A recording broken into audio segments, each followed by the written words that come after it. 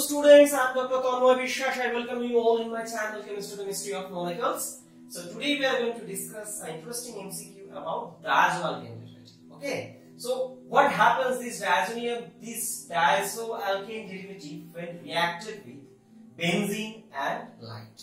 So what it results? So we have to find out what is the structure of the final product. Okay. So for that purpose, four options were provided. Now your your work is to find out what is the right answer. And second option, definitely you can find out the right option, but you need to know how this is happening. Because by simple guess cannot result good consequence. Okay. So as usual, I first request to people please pause the video and try by yourself and definitely after that I shall provide logical explanation about the right answer and definitely at the end I shall give you a route or a strategy to get the right answer within 30 seconds. Okay. So please pause the video and try by yourself. I believe you have tried by yourself. Now let me give you the answer about this question.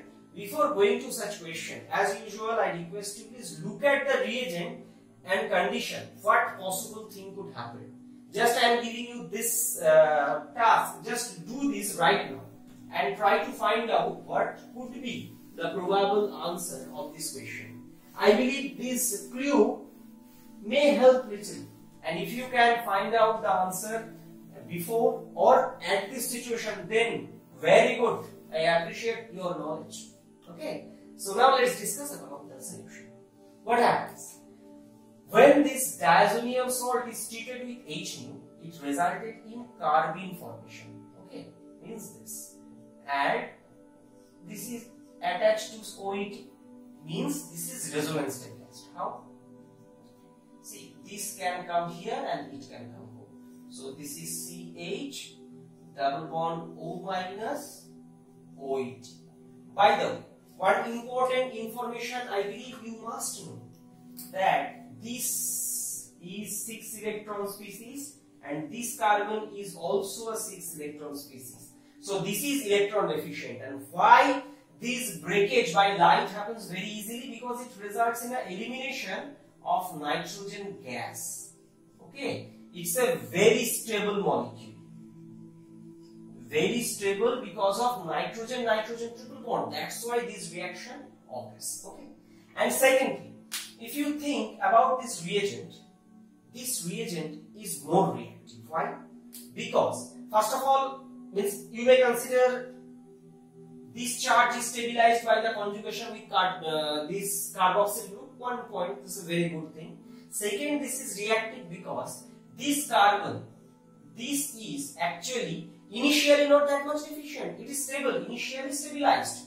But after the breakage, means elimination of nitrogen gas, this became very, very reactive. Why? Very reactive. Now question. First of all, what we know, along with a electron deficient carbon, if we attach some electron rich or electron donating group, it stabilizes. But in this case, what we have added? Electron withdrawing Electron withdrawing. So what happens? it makes this carbon so much electron deficient and it is a 6 electron species so it, first of all it is deficient second this withdrawing make it disparate and it becomes so much disparate that it react with benzene and what it result see we know that benzene contains three double bond actually benzene is aromatic we know because its its property is more, far more different than simple double bond. But this is so much reactive, so electron deficient that it reacts with benzene. And what it result? What it result? It result a three member ring formation. How? It is electron deficient. So first attack will happen on this. Then it becomes each electron means electron rich. Then the lone pair will attack here. So in this uh, way, what it will result? This, this, C H C O O E T. Now I believe you can you got the answer, and that is why it is very interesting to understand what options are. See, one option there acetic acid not possible, no aqueous medium.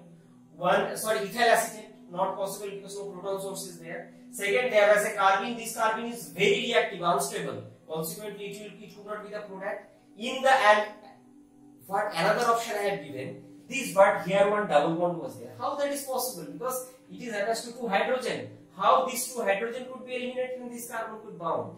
But logically, if you think. So now, what will happen? So ultimate option is the fourth option. You understood now how that happened. Since it's a three-member ring, three-member, so strained. Strain is there. Consequently, what happens? This undergo electrocyclic ring opening. How? That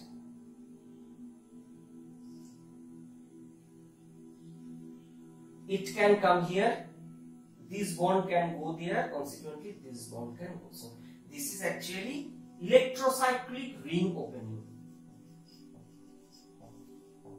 electrocyclic ring opening so what it results see it was a six member ring attached to a carbon and cyclopropane so now if it expanded then in this case as usual i suggest you First draw everything as it is. Everything as it is. Like let's draw in this way. This just break this bond. C H C O O E T. This, this, this. Now it becomes seven member ring. So equivalent to just draw the seven member. This is a strategy to draw. Please practice in your home. CO2 ET. So this is equivalence. Now this, this, this. So this is a cycloheptatriene derivative. Okay. So in this way, this is produced. So by the way, if this question is appeared in your exam within 30 seconds, how can you solve? You need to understand few points. See, this is a diazo attached to a carboxyl uh, group electron withdrawal.